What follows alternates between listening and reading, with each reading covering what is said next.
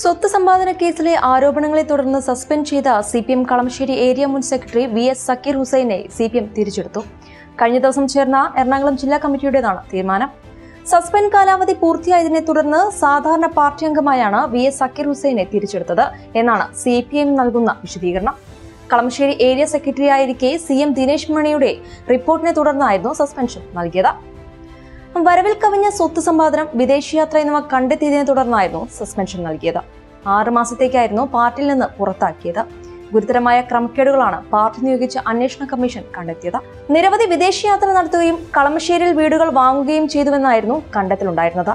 അതോടൊപ്പം ഇത് രണ്ടാം തവണയാണ് സക്കീർ ഹുസൈനെ പാർട്ടി തിരിച്ചെടുക്കുന്നത്. മുൻപ് വ്യവസായിയെ തട്ടിക്കൊണ്ടുപോയ കേസിൽ പ്രതിയാക്കപ്പെട്ടതിനെ തുടർന്ന് സക്കീർ ഹുസൈനെതിരെ പാർട്ടി നടപടിയെടുത്തത് വലിയ വാർത്തയായിരുന്നു.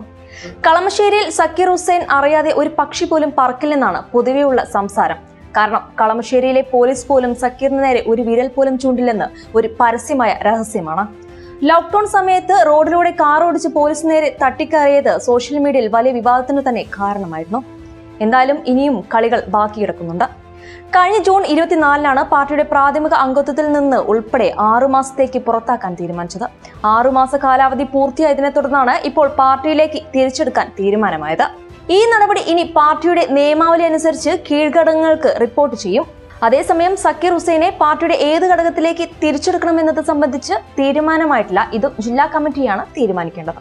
അതിനുശേഷം സംസ്ഥാന കമ്മിറ്റിയുടെ അനുമതിയും വാങ്ങണം. ഇനി എന്തൊക്കെ സംഭവിച്ചാലും ആരോഗ്യ തലകുത്തി മറിഞ്ഞാലും ശരി.